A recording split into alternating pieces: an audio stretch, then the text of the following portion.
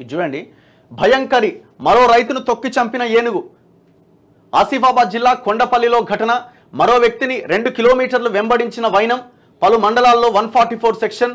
Chhattisgarh ఏనుగు మహారాష్ట్ర నుంచి తప్పిపోయి వచ్చింది. దానికి హాని కలిగించొద్దు. వైల్డ్ లైఫ్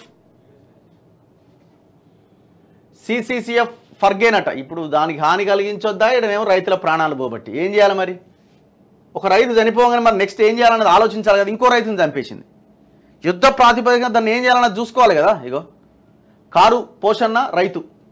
పొలాల్లో సంచరిస్తూ ఇద్దరిని హతమార్చిన ఏనుగు ఇదే. దాదాపు మండలాల్లో మండలాల్లో వన్ ఫార్టీ ఫోర్ సెక్షన్ పెట్టిరట.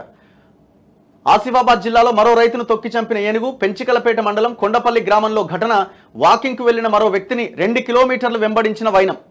పలు మండలాల్లో వన్ ఫార్టీ ఫోర్ సెక్షన్ అట. మంద నుంచి విడిపోయి దారి తప్పి వెర్రెత్తిన ఏనుగు కొమరంభీం ఆసిఫాబాద్ జిల్లాలో మరో రైతును బలిగొన్నది తెల్లవారుజామున పంట పొలానికి నీరు పెట్టేందుకు వెళ్తున్న అన్నదాత ప్రాణం తీసింది. స్థానికులు అధికారుల వివరాల ప్రకారం పెంచికలపేట మండలంలోని కొండపల్లి గ్రామానికి చెందిన రైతు కారు పోషన్న గురువారం ఉదయం ఐదు గంటల ప్రాంతంలో పొలానికి వెళ్తుండగా ఏనుగు ఒక్కసారిగా దాడి చేసింది. తొండంతో కొట్టి ఛాతిపై తొక్కడంతో అతడు అక్కడికక్కడే చనిపోయాడు. అదే సమయంలో ఉదయం వాకింగ్కి వెళ్తున్న ఎల్కరి సుధాకర్కు ఏనుగు తారసపడింది. సుమారు రెండు కిలోమీటర్ల వరకు అతన్ని వెంబడించింది. సుధాకర్ చివరికి ఇంటికి చేరుకొని ప్రాణాలు కాపాడుకున్నాడు. అయితే పోషణ మృతదేహాన్ని కొండపల్లి యువకులు గమనించి స్థాన గ్రామస్తులకు సమాచారం అందించారు. బుధవారం ఆసిఫాబాద్ జిల్లాలోకి ప్రవేశించిన ఏనుగు చింతలమానేపల్లి మండలంలోని బూరేపల్లిలో వ్యవసాయ పనులు చేస్తున్న శంకర్ అనే రైతుపై దాడి చేసి చంపిన సంగతి తెలిసిందే. ఇరవై నాలుగు గంటల్లో మరో ఘటన జరగడంతో జిల్లాలో కలకలం రేగుతోంది. ప్రజలు ఆందోళన చెందుతుండడంతో పెంచికలపేట బెజ్జూరు చింతలమానేపల్లి తదితర మండలాల్లో వన్ ఫార్టీ ఫోర్ సెక్షన్ విధించారు.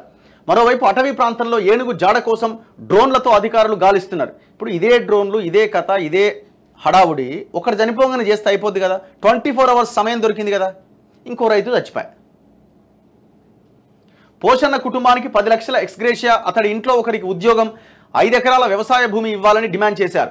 ఏనుగు దాడిలో చనిపోయిన వ్యక్తుల కుటుంబాలకు ఇరవై లక్షల ఎక్స్గ్రేషియా కుటుంబంలో ఒకరికి ప్రభుత్వ ఉద్యోగం ఇవ్వాలని Sirpur MLA doctor Palvai Harish Babu demand చేశారు. బాధిత కుటుంబాలను ఆయన పరామర్శించారు. రాత్రి వేళ బస్సుకు ఎదురుగా వచ్చిన ఏనుగట. ఏనుగు గురువారం రాత్రి తొమ్మిది గంటల ప్రాంతంలో కాగజ్నగర్ నుంచి బెజ్జూరుకు వెళ్తున్న ఆర్టీసీ బస్సుకు ఎదురుగా వచ్చిందట.